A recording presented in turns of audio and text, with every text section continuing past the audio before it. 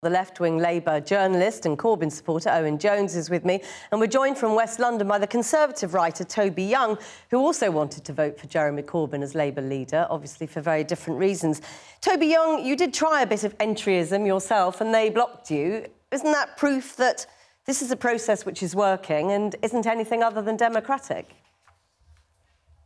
Well, I think it was um, quite easy for them to uh, rumble me because uh, in the box on the website, when I was asked why I had joined as a registered supporter, I wrote to consign Labour to electoral oblivion. Um, so you didn't need to be Sherlock Holmes to figure out I didn't have the party's best interest at heart. So I don't think they'll have, they'll catch everyone as easily. I mean, Michael Crick was saying there that he, in his analysis, this entryism, as it were, is very, very small. And this phenomenon surrounding Jeremy Corbyn is something much bigger than that. I mean, do you accept that? Um, I think it, it, it, remains to be seen, and I'm sure there'll be a lot of um, post result analysis. Um, but um, if a majority of long term Labour members are in favour of Corbyn, then it beggars belief. Uh, how many elections does Labour have to lose when it puts up a left wing leader in order for the message to sink home. Look at Michael Foot, probably the nearest equivalent to Jeremy Corbyn.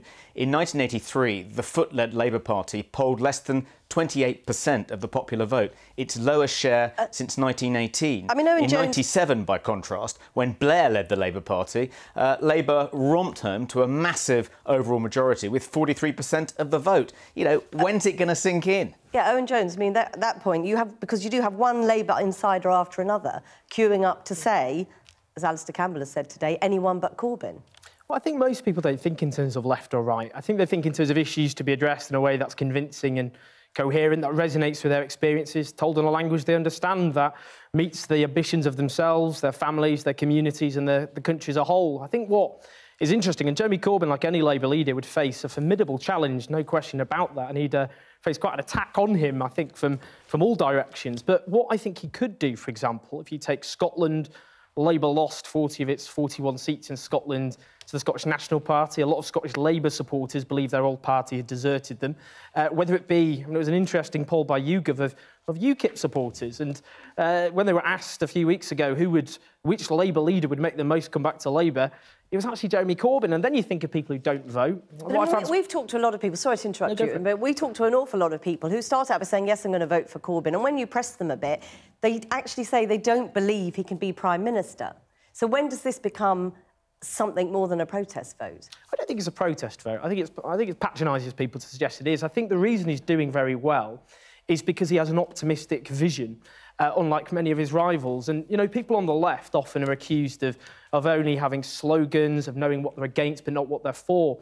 But he's been suggesting policies like a national education service to su support lifelong learning, uh, investing in uh, high-tech jobs of the, the future. The point is about electability well, that's the point. I mean, well, I, you know, that's why I wanted to answer your point because I think it is about policies that inspire people.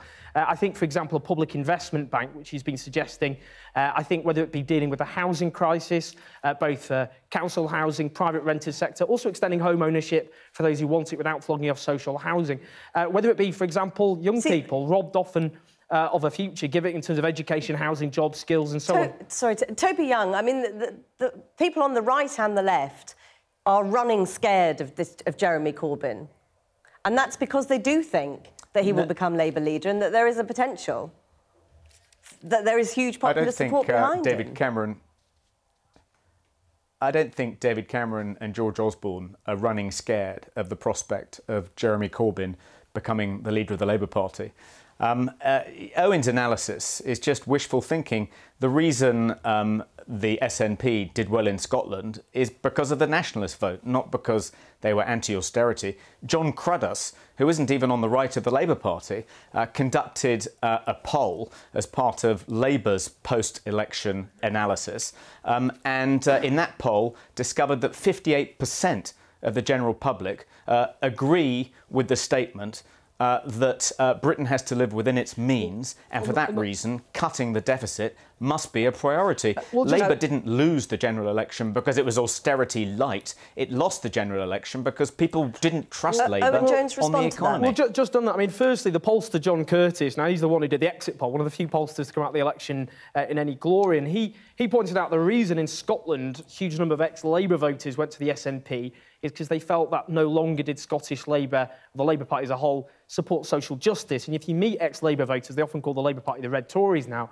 As, a, as a, in terms of living within it, the country's means, who disagrees with that? And the point Jeremy Corbyn has made is to balance the books, is to eradicate the deficit, but not to do it on the backs of working people, low-paid people, disabled people, and so on. So a genuine living wage, dealing with a housing crisis, so we don't spend billions uh, on private landlords with housing benefit and, and create jobs, skilled jobs, and so on. That's what it's about. Balance the books, but do it in a fair and just and equal and fair way. I think that's reasonable. Toby economic. Young, very briefly. How how is Jeremy Corbyn going to balance the books when he said he wants to nationalise the energy companies? The cost of doing that, according to independent analysts, is 185 billion. To That's not going to balance the book. That's going to plunge us into bankruptcy. We'll be the next Venezuela. Toby Young, you've got the last word this evening.